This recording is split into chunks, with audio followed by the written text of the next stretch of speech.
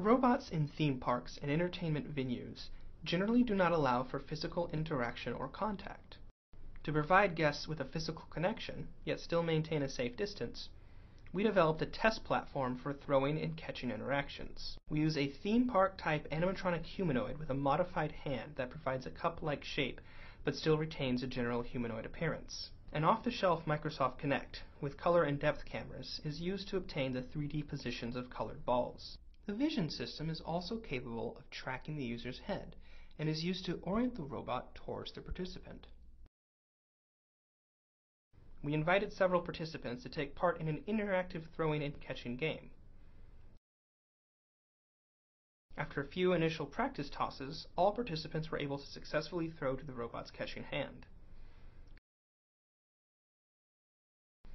Subtle head turning gives the appearance the robot is tracking the ball with its eyes.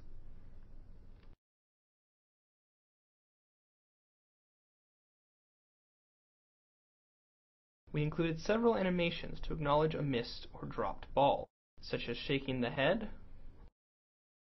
looking behind, looking down, or shrugging the shoulders. The animations often solicited spontaneous reactions from the participants.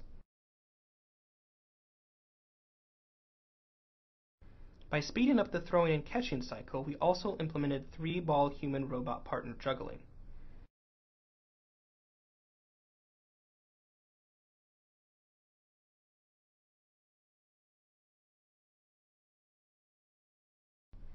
For comparison, a slow motion of human-robot partner juggling is shown alongside human-human partner juggling.